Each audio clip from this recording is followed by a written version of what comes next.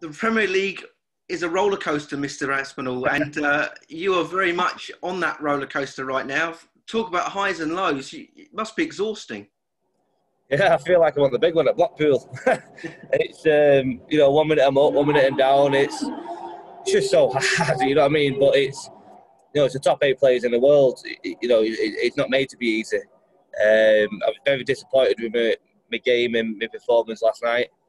Um, so it's very important for myself to, to bounce back with it with a good result. Um, it wasn't the best of games, but God did it have some charm. Um, and you know, I'm very happy that I came out on top of uh, on top of the match.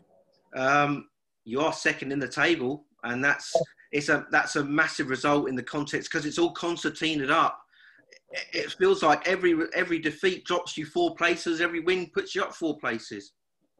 Yeah, I think last night proved it. I was I was third going into to Michael, um, got beat, and I was down to sixth. And obviously, if I lost tonight, if, if Gezi was to beat whoever Gezi's playing, I could have been second bottom. Um, and I'm playing good darts. You know, it, it, it's it's it's hard. So uh, I think that was why it was so hard tonight because I think we both knew it was a massive game for both. Obviously, Michael, uh, I beat Michael two days before, um, so it, it was a very tough game for both players, but uh, one I'm very, very happy to come out on top. I think both of you are very similar because you're both feeling the emotion of the Premier League. Because Michael felt it after he lost to you the other night. He's then got a result. You then felt that last night. You said, "I don't know what you did in your hotel room. I hope you didn't do the full rock and roll. the TV wasn't out the window or anything." But you're finding it, it's being in this cabin. It, was, the TV was very close to being out the window, but it, nah, it, it's you. Me and Michael are you know, we're both young, and uh, you know, he's number one in, in England. I'm number three, four, and six in the world. We we love playing each other, and we want we want to win titles. We want to be the best. We, we want where Mike, what Michael Van Gerwen's got, mm-hmm. and um, we try so hard. Sometimes we try too hard, uh, like last night for me. but uh, you know, I'm great mates with Mike. Uh, a lot of respect for him, and um, you know, I needed a little bit of a little bit of adrenaline during that game to get myself going, which I did. I know Mike knows that I'm, I wasn't doing it in malice or anything like that. I just needed it to get myself going, and uh, I'm thankful that I did get something going, and uh, I'm, I'm, happy to be sat here talking to you uh, with, with, with two points. It has to be said, after three or four days now, there seems to be a lot of tension running through the, the entire uh, group of players. Is that cabin fever as well as the fact you're stuck there every day? That fact that you've had to produce this and it's having to brew juices every night. And when you do get a defeat, you don't get enough breathing yeah. space, mind space to get over defeats.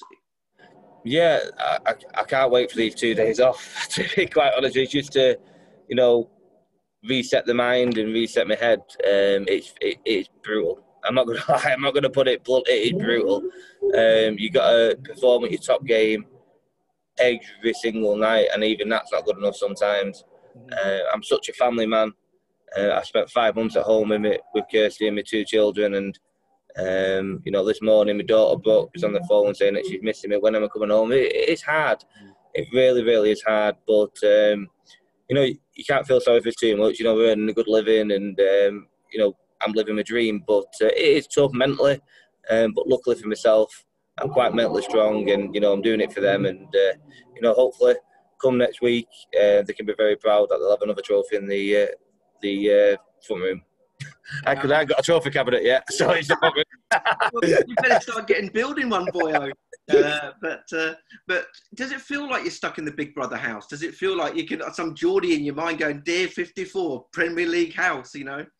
Yeah, it does. Um, you know, I've been, I'm a, as you know, I, I play golf quite a lot. Um, so I've been having a couple of rounds, but when I play golf tonight, I lose. So I've been banned by my manager and me, my, my partner. I'm not allowed to play golf now until the break. So, no, it is tough. Uh, obviously, you're here day in, day out. Um, but, like I say, it could be worse. It could be um, getting up at 8 o'clock in the morning doing my Excel spreadsheets like I used to do. So, you can't be, uh, you can't be too annoyed.